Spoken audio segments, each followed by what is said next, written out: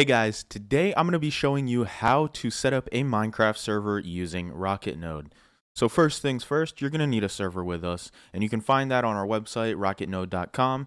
Go down to Minecraft server hosting, click that, select the amount of gigabytes you want for your server, check out, and then from there, you can go to login, game panel, and you can see your server. So let's go ahead and click on that.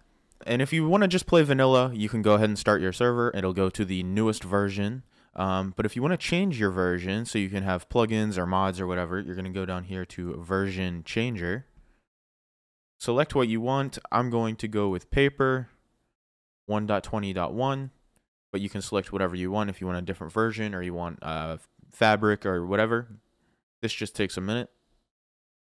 And version change successfully.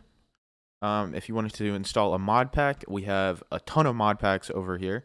Um, you just go to mod pack installer and then look through or search for what you want.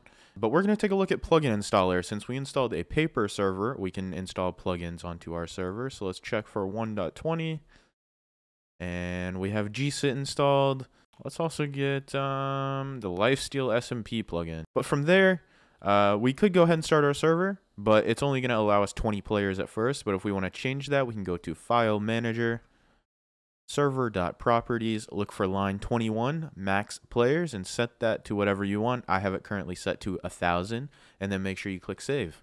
Now we can go back to the console and click Start. This should just take a minute.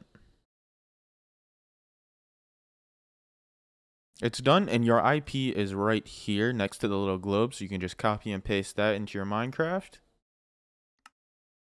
And here we are. This is my server. And let's go ahead and check.